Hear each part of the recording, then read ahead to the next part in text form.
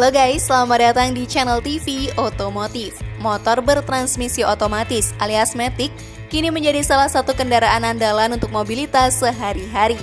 Sektor akomodasi yang luas serta tak perlu repot memindahkan transmisi menjadi beberapa alasan motor ini cukup diminati. Beragam pilihan motor Matic pun disediakan berbagai pabrikan motor seperti Honda, Yamaha, dan Suzuki. Apa saja ya pilihannya? Lalu apakah harganya cukup terjangkau? Simak video ini sampai selesai dan temukan jawabannya. Inilah daftar harga motor metik di bawah 150cc semua merek, versi dari TV Otomotif.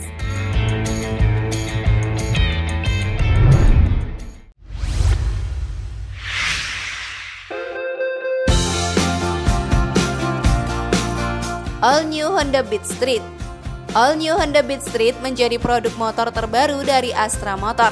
Produk ini hadir dengan balutan desain bodi baru yang kompak, serta penyematan beragam teknologi dengan inovasi terbaru pada sisi rangka dan mesin, dan beragam fitur canggih lainnya. Honda Beat Street 2020 tersedia dalam pilihan mesin petrol di Indonesia. Skuter baru dari Honda hadir dalam dua varian, Bicara soal spesifikasi mesin, Honda Beat Street 2020 ini ditenagai dua pilihan mesin petrol berkapasitas 110 cc. Beat Street 2020 tersedia dengan transmisi CVT tergantung variannya. Beat Street 2020 guys adalah skuter 2 seater dengan panjang 1856 mm, lebarnya 742 mm, wheelbase-nya 1256 mm, serta ground clearance-nya 147 mm. All New Honda Beat Street dibekali generasi terbaru mesin ESP 110cc yang lebih hemat bahan bakar dan menyuguhkan performa yang lebih optimal teknologi baru ini juga membuat mesin ESP lebih irit dalam penggunaan bahan bakar. Melalui tes internal dengan metode ECE R40 didapatkan hasil konsumsi bahan bakar mampu hingga 60,6 km per liter, sehingga mampu menempuh jarak 254,52 km dalam sekali pengisian bahan bakar. Untuk spesifikasi sebagus ini, all new Honda Beat Street ini dibanderol dengan harga 17.150.000 saja loh. Keren ya? Namun sebelum video ini semakin berlanjut, klik dulu tombol loncengnya ya biar kalian gak ketinggalan info baru dari channel ini.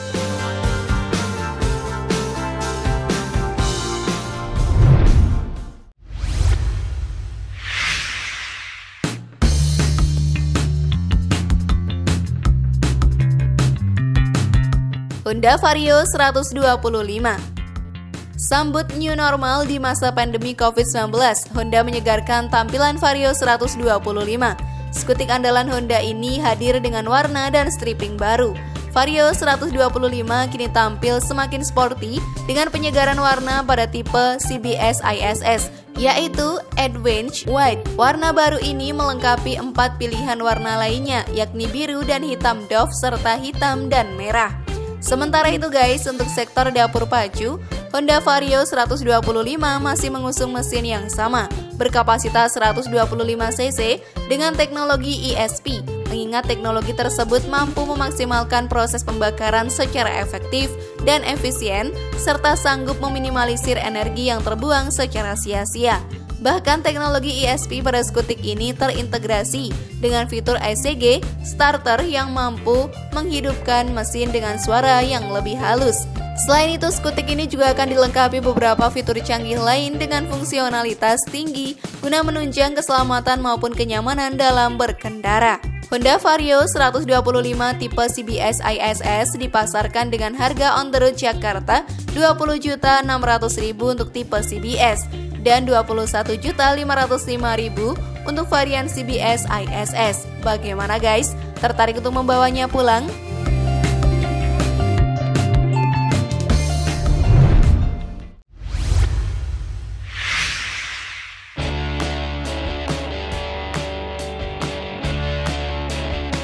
Honda Scoopy ESP Masih dari Honda, kali ini kita akan membahas si cantik non-eksentrik Honda Scoopy.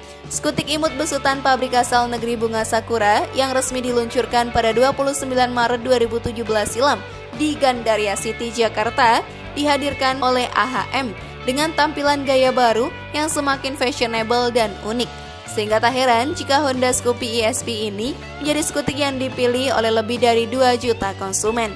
Meski dihadirkan dengan tampilan baru dan fitur yang lebih canggih, namun untuk spesifikasi yang diusung Honda Scoopy ESP terbaru ini masih tetap mengandalkan desain bodi yang khas, bergaya retro, yang begitu unik dan imut sebagai identitas khas Scoopy Style. Hanya saja, untuk tampilan desain eksteriornya sedikit dipoles dengan konsep retro modern sehingga akan tampak lebih trendy.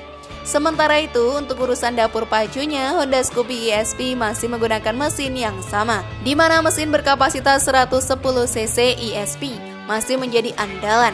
Sedangkan untuk fitur-fitur yang disematkan pun juga tak berbeda jauh dari varian sebelumnya. Harganya pun dibanderol 19.750.000. Harga segitu sebanding bukan dengan kualitas motor ini, guys.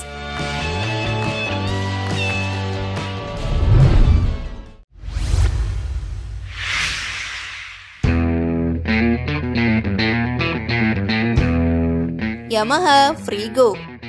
Motor Matic ini adalah keluaran Yamaha yang menawarkan pengereman ABS demi menjamin keselamatan penumpang. Motor ini menggendong mesin SOHC berkapasitas 125 cc Blue Core yang dipastikan mampu memberikan pengalaman berkendara yang lebih irit, bertenaga, dan handal. Sementara itu guys, untuk soal desain pun sama, dengan menampilkan kesan modern khas gotik masa depan dengan bekalan mesin 125 cc Blue Core yang handal dan agresif. Harga Yamaha Frigo ini terbagi menjadi tiga varian sesuai tipe. Untuk tipe standar dibanderol 19,7 juta, sedangkan tipe S harganya mencapai 18,5 juta. Sementara itu untuk tipe tertinggi yaitu SABS dipatok senilai 22,5 jutaan. Pasti terpikat bukan?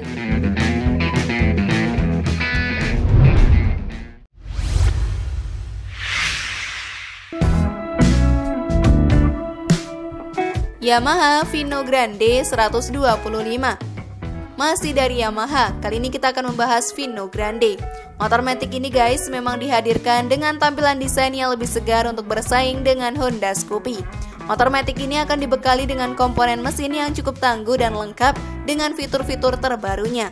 Tak hanya itu saja, tampilan terbarunya pun juga sangat menggoda di mana Yamaha Vino Grande ini mengusung konsep desain retro yang simple, namun tampak begitu elegan pada setiap sisi bodinya. Tentu saja, hal ini akan menjadi daya tarik tersendiri bagi para calon konsumen. Mesinnya pun juga cukup tangguh, sebab Yamaha Vino Grande ini akan dipersenjatai dengan mesin berkapasitas 125 cc tipe SOHC yang sudah tentu bakal mampu menyemburkan tenaga cukup handal di kelasnya. Bahkan beberapa fitur canggih pun juga disematkan pada Yamaha Vino Grande besutan Yamaha ini untuk mendukung spesifikasi yang ada di dalamnya. Selain itu guys, masih banyak lagi kelebihan yang dimiliki motor Matic terbaru garapan Yamaha ini. Yang pasti tidak akan rugi beli motor badak ini ya. Harganya sendiri 19.895.000 tentu menjadi harga yang wajar jika melihat spesifikasi dari motor ini.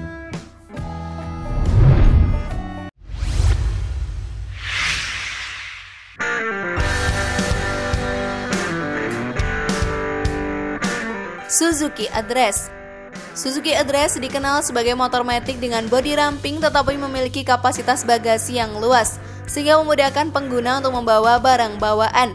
Jika dibandingkan dengan generasi pendahulunya, Suzuki Address 110 ini bisa dibilang cukup banyak sekali perubahan yang dilakukan pihak Suzuki.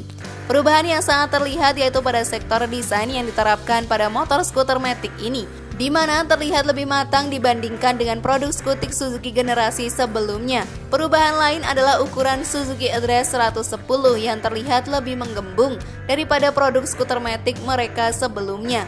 Namun dengan ukuran yang makin besar, ada kelebihan yang ditawarkan oleh motor skuter Matic yang satu ini. Selain itu, dengan mengusung mesin berkapasitas 113 cc dan dilengkapi dengan beberapa fitur canggih yang menarik, Suzuki Address 110 ini siap menjadi pilihan terbaik bagi para konsumen di Indonesia.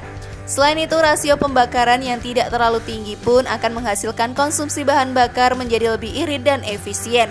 Tampaknya, Untuk memboyong motor metik besutan Suzuki ini, tak harus merogoh kocek terlalu dalam. Pasalnya, berdasarkan informasi yang telah diterima, didapatkan dari situs resmi Suzuki Indonesia. Harga Suzuki Address 110 ini dibanderol seharga 16.570.000.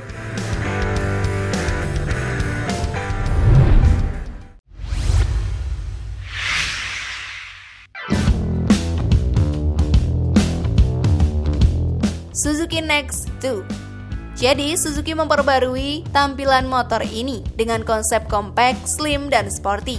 Kemudian diterjemahkan dalam desain yang simple dan clean sehingga menghasilkan tampilan visual yang sesuai dengan tren saat ini.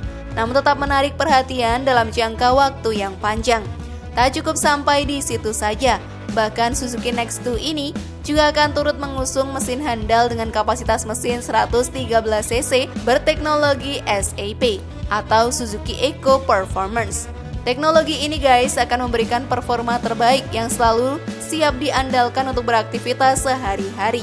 Kemudian pada sektor dapur pacunya yang handal mengusung mesin 113cc berteknologi SAP untuk memberikan hasil kinerja yang lebih handal dan mumpuni di kelasnya. Dengan kehandalan yang cukup unggul tersebut tentu saja sedikit banyak bakal berpengaruh pada penentuan dan harga Suzuki Next 2 sehingga motor gagah ini dibanderol dengan harga 16.100.000.